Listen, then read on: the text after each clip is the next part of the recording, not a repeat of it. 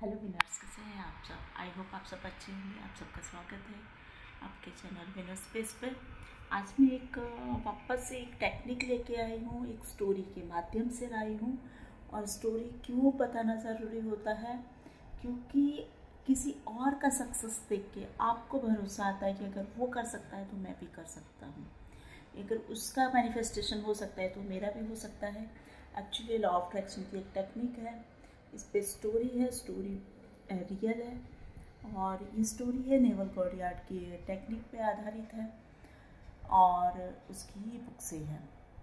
तो मैंने शुरुआत में जब इस स्टोरी को पढ़ा तो मैं खुद ही शौक थी कि हाउ इट इज़ पॉसिबल कि कैसे संभव है कि बिना किस, जिसे आपने मेरा टाइटल देख लिया होगा कि बिना काम किए आपको परमानेंट लाइफ लॉन्ग आपका इनकम जितनी आपने सोची है, उससे दस गुना ज़्यादा मिल जाए। कैसे पॉसिबल है? जो आपके खर्चे उससे भी दस गुना, आपकी लग्जूरियस लाइफ आप जीने लग जाओ, वो भी बिना काम के। कैसे पॉसिबल है? तो मैं खुद शौक में थी कि हाँ ऐसा भी होता है। और, फिर ये स्टोरी मैंने पूरा पढ़ा, उसको विजुलाइज करना स्टार्ट किया मैंने मेरे लाइफ में। अप्लाई करना चीज़ पे स्टार्ट किया। तो जो छोटे मैनिफेस्टेशन थे, मैं स्टार्ट हमेशा आपको भी बोलूँगी कि सबसे पहले अपनी छोटी छोटी चीज़ों को मैनिफेस्ट करना स्टार्ट कीजिए। जब छोटी छोटी चीज़ें मैनिफेस्ट होती हैं तो एक तो वो ईजिली हो जाती हैं तो आपका भरोसा पड़ता है इस जो टेक्निक है, उसके ऊपर। ठीक है तो स्टोरी इस प्रकार है। एक महिला है, ठीक है, महिला की एज है फिफ्टी फाइव उसका नाम है लूसी लूसी की एज फिफ्टी फाइव है।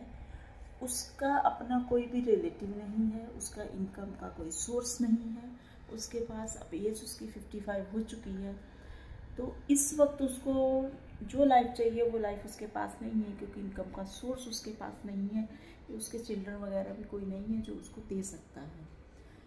तो वो ऐसा सोचती है, मैं क्या करूँ क्या करूँ? तो उसको एक दिन नेविल गॉडियार्ड के लेक्चर्स के बारे में पता चलता है, जो कि वो लिया करते थे।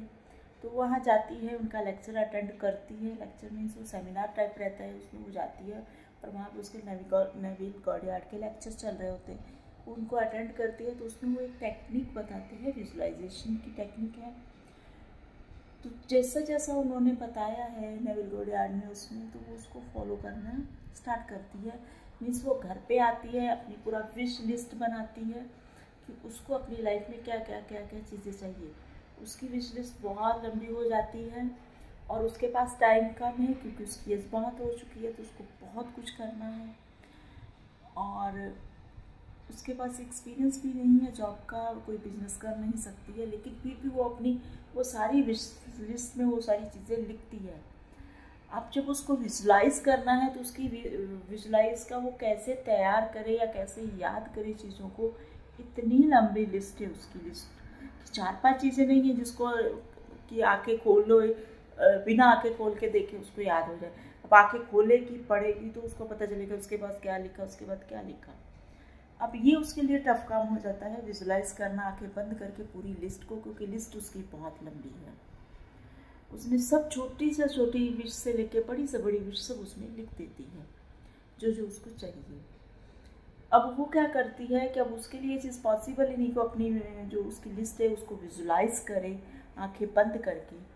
तो वो उसको अपने वे में मॉडिफाई करते हुए वो एंड रिज़ल्ट पे चली जाती है।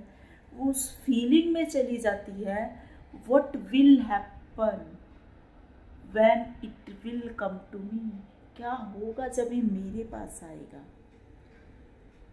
वो कितना सरप्राइज़ होके उस चीज़ को फील करती है कि वो सब उसके पास है। इतना सरप्राइज़ होती है उसमें वो चीज़ वो बोलती है पूरा फील करती है कि उसके पास है। तो जब ऐसा करती है वो, और वो एक दिन के लिए नहीं करती, इस टेक्निक को उसको फॉलो करना है। जैसे कि मैं आप बोलती हूँ, कोई भी टेक्निक आप नाइन्टी डेज़ से पहले बंद मत कीजिएगा।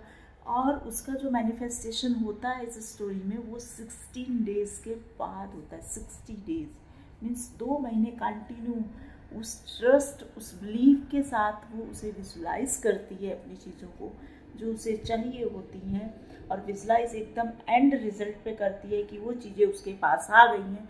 इवन उसको याद भी नहीं कि अपनी लिस्ट में क्या क्या लिख के रखा दिया है. सिर्फ़ एंड रिज़ल्ट की जो जो उस लिस्ट में मैंने लिखा है, वो सब मेरे पास है। और उसके साथ वो एकदम, जैसे बोलते हैं ना कि आश्चर्यचकित हो जाना और बहुत खुश हो जाना, उस फीलिंग में जाके वो उसको सिर्फ़ विजुलाइज करती है मॉर्निंग इवनिंग जैसे बताया गया है, सुबह उठते ही विजुलाइज करना है, सोने से पहले विजुलाइज करना है। वैसे वो कंटिन्यू दो महीने तक करती रहती है, लेकिन उसकी ज़िंदगी में कुछ चेंजेस नहीं आते हैं इन दो महीनों में। कोई भी चेंजेस नहीं, जैसे उसकी लाइफ चल रही है, वैसी ही चल रही है। लेकिन वो डिमोटिवेट नहीं होती है। वैसे ही करती रहती है। ठीक है? फिर एक दिन उसको उसका एक फ्रेंड मिलता है और वो लोग बात करते हैं और उसको, उस फ्रेंड को शिफ्ट होके न्यूयॉर्क जाना है। तो वो ऑलरेडी न्यूयॉर्क में रह चुकी थी। तो वो उस प्लेस के बारे में बताती है जो जो उसको न्यूयॉर्क के बारे में पता था। अब वो फ्रेंड भी उससे मिलके चला जाता है न्यूयॉर्क ये अपनी लाइफ में फिर से बिज़ी है, अपना रिचुअल करती है, अपनी डेली एक्टिविटी जो है उसकी वो कर रही है बट उसकी लाइफ में अभी तक कोई चेंजेस नहीं है। अभी दो महीने होने को आ चुके हैं। लेकिन उसने अपना ट्रस्ट नहीं छोड़ा है बिलीव नहीं छोड़ा है और टेक्निक को फॉलो करना नहीं छोड़ा। करती रहती है।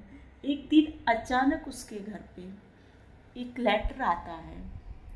और लेटर ओपन करके देखती है तो उसके अंदर चेक निकलता है, जो कि ट्वेंटी फाइव थाउज़ेंड डॉलर का है। और वो जो चेक होता है, वो उसके बेस्ट फ्रेंड ने भेजा होता है, जो कि ऑलरेडी न्यूयॉर्क में था। जब ये जो फ्रेंड यहाँ से मिला था उसको, जो उसने उसके बारे में बताया था न्यूयॉर्क के बारे में कि मैं यहाँ पे रहती थी, जब ये इंसान जाके उस इंसान से न्यूयॉर्क वाले इंसान से मिलता है कि जो इसका ऑलरेडी पहले का बेस्ट फ्रेंड था टॉम जो किसी कारणवश इनका कनेक्शन टूट चुका था। और तब टॉम भी एक नॉर्मल पर्सन था, लेकिन आज टॉम बहुत रिच मैन बन चुका है और उसकी बहुत सारे फैक्ट्रीज कंपनीज़ चलती हैं। तो जब वो उसके बारे में बताता है कि मैं लूसी नाम की एक लेडी से मिला था थोड़े दिन पहले, अब उसकी कंडीशन ऐसी है कि उसके पास इनकम का भी सोर्स नहीं है और उसकी एज तो टॉम को पहले ही पता थी कि कितनी होगी। तो वो टॉम जो है, टॉम उसको ट्वेंटी फाइव थाउज़ेंड डॉलर का चेक भेज देता है। और साथ में लेटर लिख के भेजता है कि आपको कोई भी चिंता करने की ज़रूरत नहीं है। मेरी कंपनी हर महीने आपको एक चेक भेजा करेगी, जो कि मेरा फ्रेंडशिप टोकन समझिए, जो भी समझिए कि हम फ्रेंड्स थे, हम फैमिली थे, हम ऐसे मैं फैमिली मेंबर आपकी हेल्प करना चाहता हूँ।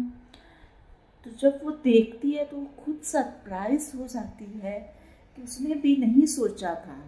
कि उस टेक्निक को फॉलो तो कर रही है, उसको इतनी सारी चीज़ें चाहिए, लेकिन वो आएँगी कहाँ से, पैसा कहाँ से आएगा? क्योंकि वो इस जोन में गई ही नहीं, उसने कभी सोचा ही नहीं कि कब होगा, कैसे होगा।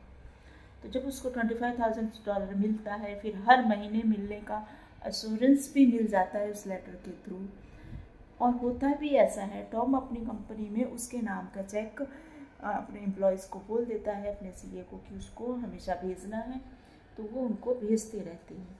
तो वो खुद उस स्टोरी में लिखती है कि मैं इतनी सरप्राइज़ थी, मुझे भी नहीं पता था कि बिना जॉब किए, बिना बिज़नेस किए भी एक लग्जूरियस लाइफ जी जा सकती है। तो मोरल ऑफ़ द स्टोरी ये नहीं है कि आप भी अपना सारा काम छोड़ के बैठ जाइए कि आपकी लाइफ में कोई टॉम आएगा और आपको चेक दे जाएगा। ये बिल्कुल भी नहीं है। मोरल ऑफ़ द स्टोरी ये है कि उस लेडी ने कैसे होगा, कब होगा, पे ना जाके सिर्फ़ होगा पे ही कंसंट्रेट किया और एक ट्रस्ट रखा। सिक्सटी डेज़ तक कंटिन्यू किसी एक चीज़ को करना। होगा, नहीं होगा का भी पता नहीं है। सिर्फ़ करना है तो कर रहे हैं। सिर्फ़ इस जोन में जाके करना बहुत बड़ी बात होती है। और यही वो बात है जिसमें सक्सेस होती है। तो इस स्टोरी का जो मॉरल वही है, जिस टेक्निक को फॉलो कर रहे हो, उसको कंटिन्यू करो और एक ट्रस्ट के साथ करो कि होगा ही होगा। एक डेली रिचुअल बना के कीजिए। ठीक है? कब होगा, क्यों होगा, कैसे होगा, इस पर मत जाइएगा। और कब, कैसे, कितना होगा, वो आपको भी नहीं पता पड़ेगा। जब आप एक इनोसेंट बच्चे की तरह उस यूनिवर्स से चीज़ें मांगते हैं तो फिर वो एक जिससे ग्रैंड पेरेंट्स नहीं होते हैं, एक टॉफ़ी मांगे तो बहुत बड़ा चॉकलेट ला के देते हैं। वैसे ही यूनिवर्स हमारे साथ करता है, जब हम ट्रस्ट के साथ कोई भी चीज़ करते हैं। तो इस स्टोरी से यही आपको सीखना है। जिस भी रिचुअल को फॉलो कर रहे हो, जिस भी टेक्निक को फॉलो कर रहे हो ट्रस्ट के साथ कीजिए। एटलीस्ट नाइन्टी डेज़ तक कीजिए। नाइन्टी डेज़ तक आपको कंटिन्यू करनी है। मुझे पता है किसी को भी नाइन्टी डेज़ तक करने की ज़रूरत नहीं पड़ती है। उससे पहले ही चीज़ें मैनिफेस्ट होने लगती हैं। अगर आपने ट्रस्ट नहीं आपका ट्रस्ट कहीं नहीं चला चला जाएगा। एक और वीडियो ला रही हूँ जिसमें मुझे आपको बताना होगा। कि यूनिवर्स आपका टेस्ट भी लेता है। इस लेडी का भी टेस्ट लिया होगा जो इसने नहीं बताया है। तो उस टेस्ट को कैसे पास करना है? अगर आपने उस टेस्ट को क्वालिफाई किया तो चीज़ें आपको मिलती ही मिलती हैं। जस्ट इस वीडियो के बाद नेक्स्ट वीडियो मेरा उसी टॉपिक पे आ रहा है कि कोई भी चीज़ देने से पहले लॉ ऑफ़ अट्रैक्शन में भी टेस्ट होते हैं हमारे। सिर्फ़ उसको पास करना ज़रूरी है। ठीक है तो इसका ठीक जस्ट नेक्स्ट वीडियो वही है। यूनिवर्स के टेस्ट को कैसे पास करें और उसका क्या साइन होता है कि यूनिवर्स हमारा टेस्ट ले रहा है और उसे हमें पास करना है अपनी चीज़ों को मैनिफेस्ट करने के लिए।